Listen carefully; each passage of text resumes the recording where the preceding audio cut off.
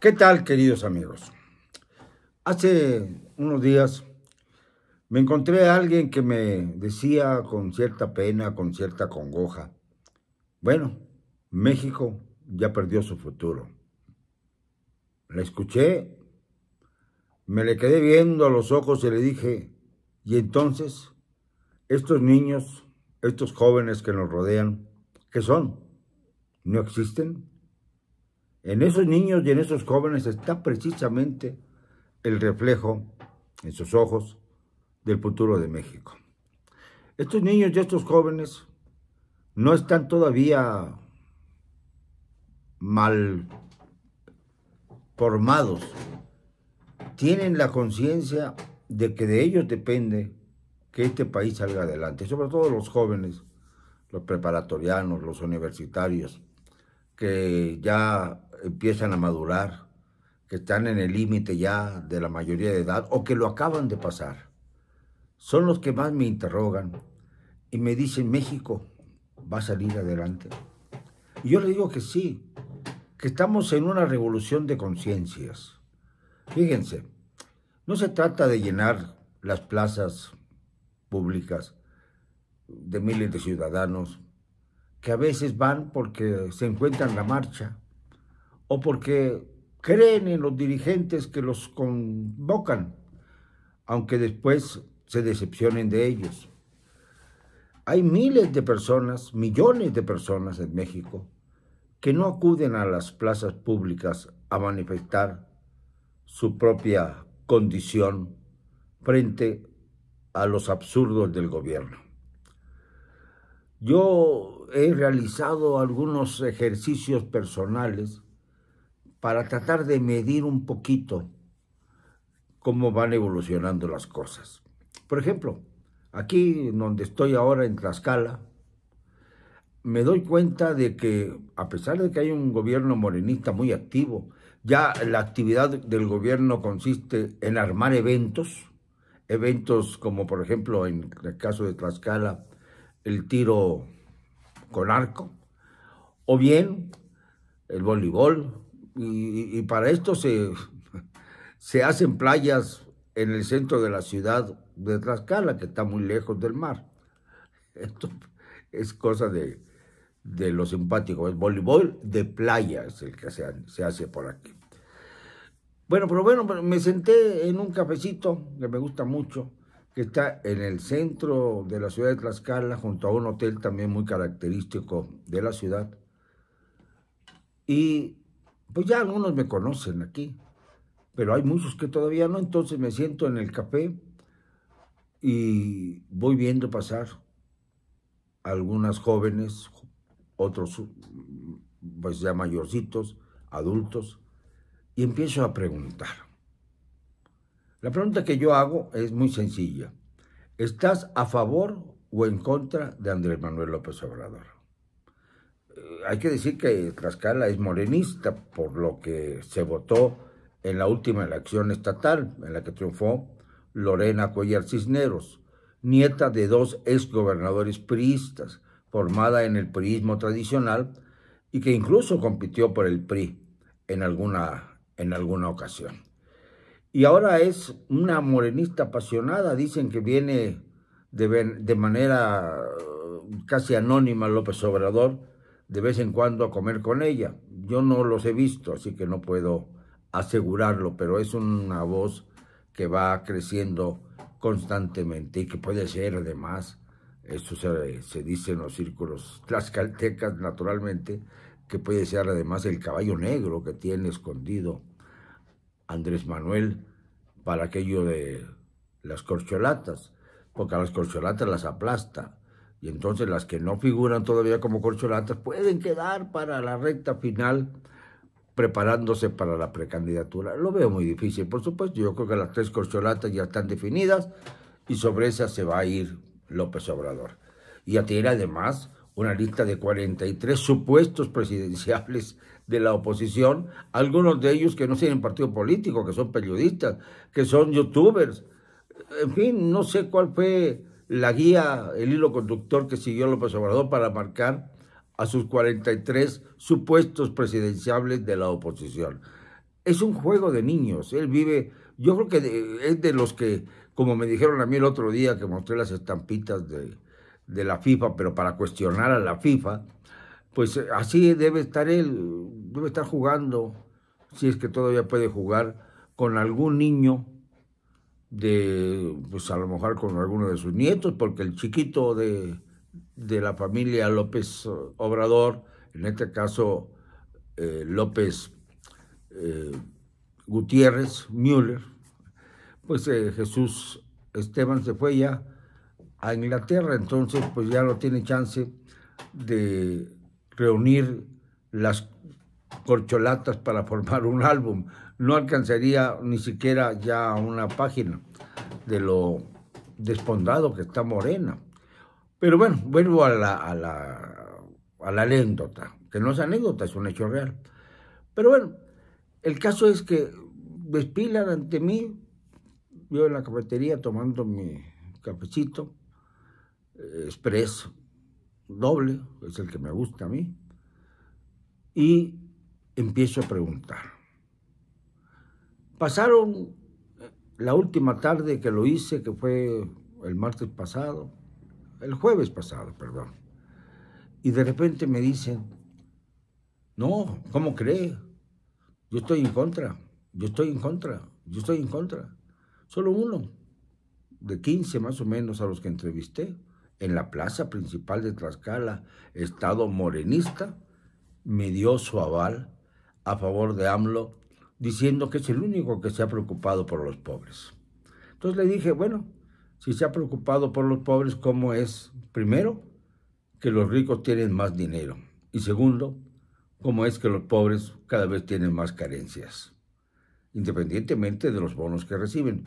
Yo no sé qué hubiera pasado si no se recibieran estos bonos que se les obsequia, pero por parte del erario público y no con el bolsillo de Andrés Manuel. Hay que aclararlo permanentemente porque hay muchos que piensan que el generoso Andrés Manuel les regala el dinero y no.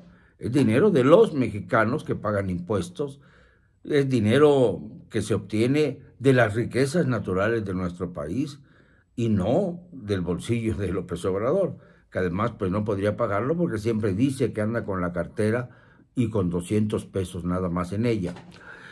Esto pues no lo cree nadie, sobre todo cuando tiene que pagar a tantos personajes que están por aquí por allá deambulando en Palacio Nacional, como el señor Octavio Romero, el director de Pemex, que está rodeado nada menos que de 18 militares que lo sirven, que lo reverencian, o bien pues está, se supone, como comandante supremo de las Fuerzas Armadas, pero el general secretario de la Defensa Nacional, Luis Crescencio Sandoval, se da el lujo de decirle a los diputados que pretenden citarlo como parte del ejercicio permanente que es el que comparezcan los secretarios de Estado a explicar algunas de las condiciones más importantes que tienen que tratarse para conocer el mapa de las grandes circunstancias que vive nuestro país. En el caso del general secretario, pues hablar sobre por qué dicen que la violencia va bajando cuando es obvio que va subiendo, que de un promedio de 80 hemos pasado a más de 100 asesinatos por día. Y esto pues es importante que lo defina el secretario de la Defensa, pero este no le importó que lo citara a la Cámara de Diputados.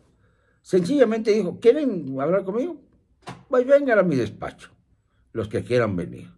Yo no voy a ir a la Cámara de Diputados. Caray, esto ya forma parte como de una semidictadura militar. No obedezco al Congreso.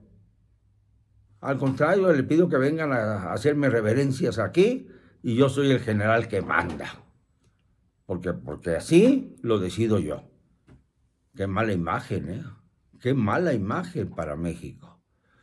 Y mientras todo esto ocurre, López Obrador se pone a definir a una periodista que antes fue el ícono principal de esa izquierda López Obradorista y que incluso a su salida de una estación de radio injusta, en donde fue sobajada precisamente por su apoyo a López Obrador, se le rodeó de una multitud que convocó el propio López Obrador para que saliera triunfante a esa misma reportera, a esa misma periodista, eh, de la que yo personalmente digo que me honro con su amistad. No sé si ella opine lo mismo, pero siempre la he respetado y le tengo un gran afecto.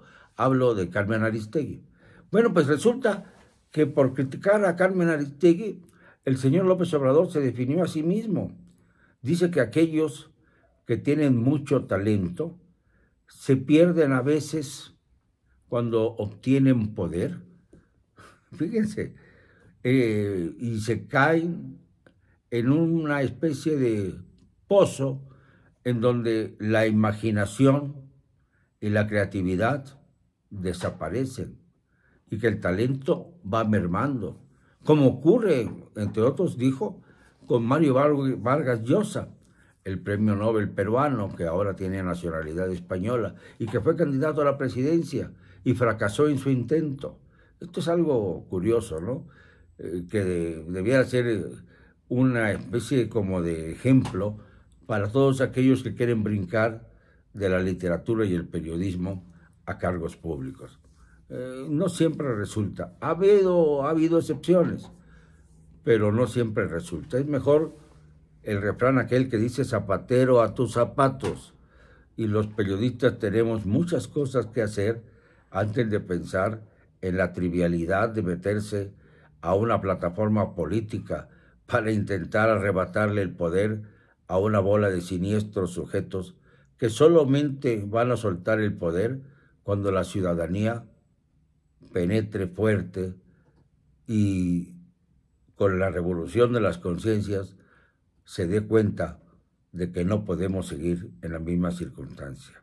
Y así como hubo 31 millones de personas que votaron en 2018 a favor de esta desgracia de la cuarta transformación, puede haber 30, 35 millones, 40 quizá, si se vence al abstencionismo, que hay algunos que piensan que ya no va a haber tanto abstencionismo, que ya la ciudadanía está cansada de escuchar tanto el repiqueteo de las mentirosas de la mañana, como también el hecho de que estemos cuestionando al presidente. También se molestan y se fastidian por ello. Y tienen razón. Yo mismo me siento atrapado en esta situación en la que cuando cuestiono al presidente me insultan y me ofenden y otros se aburren de esta situación. Se aburren de este, digamos, ping-pong de opiniones que no llevan a ninguna parte. Pero insisto en que la crítica periodística es la que le da dinámica a la democracia. Si no hay crítica, no, no, no hablo de los periodistas a modo, de los periodistas que le gustan a Andrés Manuel como los moléculas. Hablo de los periodistas que nos hemos forjado a través de muchísimas décadas y que hemos ejercido la crítica desde hace muchísimas décadas. A mí no me pueden decir aquello de que usted qué hacía y qué decía en el pasado, porque lo mismo que digo ahora, lo decía también en la época de Peña Nieto. Bueno, no lo mismo, porque lo de ahora ha sido bastante más caótico y peor que lo del pasado. Pero durante el gobierno de Peña Nieto como que un paro nacional. Fui al Ángel de la Independencia a manifestarme con los colegas periodistas cansados de los asesinatos contra nuestros amigos y colegas. Y no se diga en la época de Calderón, en la época de Fox, eh, con Cedillo, bueno, nos agarramos fuerte. Con Salinas me sacó del país. Me tuve que ir del país durante unos meses, no fue mayor cosa. Sobre todo porque regresé a cuestionar con más severidad sus actos políticos. Así que a mí no me pueden decir eso de que qué hacía usted en el pasado, porque yo sí puedo contar lo que hacía en el pasado. Ejercer mi profesión y ejercer la crítica y enfrentar al poder. Lo que muchos no se atreven. Hay muchos que sencillamente prefieren callarse, no mostrarse, mandar anónimos, que luego venden al mejor postor. O bien apoyar a las granjas de bots, de hackers, a los llamados youtubers que están desesperados por confrontar a quienes no pueden destruir, porque sencillamente nosotros sí los periodistas críticos somos invulnerables, no físicamente, porque nos pueden matar en cualquier momento, pero en cuanto a nuestras ideas, como el propio López Obrador decía respecto a él, somos invulnerables por la sencilla razón de que decimos la verdad, estamos en contra de un régimen que ha empobrecido a México y sobre todo no aceptamos diatribas, no aceptamos que se nos siga insultando cada vez que ponemos a López Obrador y sus secuaces contra la pared. Pobre de Andrés, qué triste destino le espera. Perdóneme, no me van a callar. Y lo digo y siempre, con cero cabardía.